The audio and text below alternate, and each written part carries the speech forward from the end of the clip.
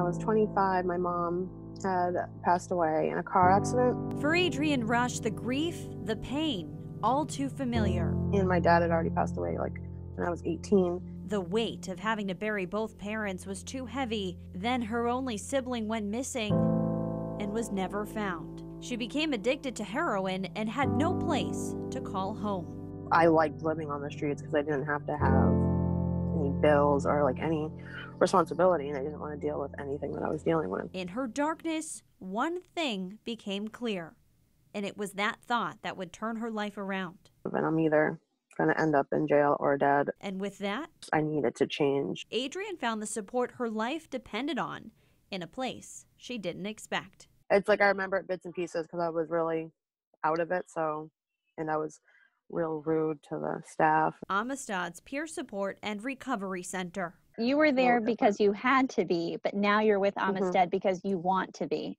Right, yeah. She now works with them delivering meals and as a mentor.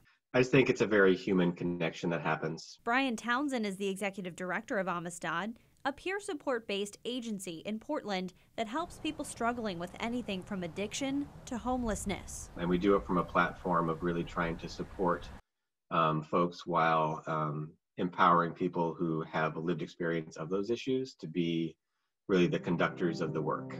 It's just a good feeling to help people and it's different that I know the majority of them. They're telling me like uh, I'm an inspiration and like they look up to me because if I can turn my life around, they can. It's funded by the United Way, which needs your help now more than ever. We assure you that your dollars will go where they are needed most to make the long lasting, important change that our community needs. A long lasting, important change Adrienne discovered when she found a family, even when she thought she had none. If your mom and dad were here today, do you think they'd be proud? What would they say?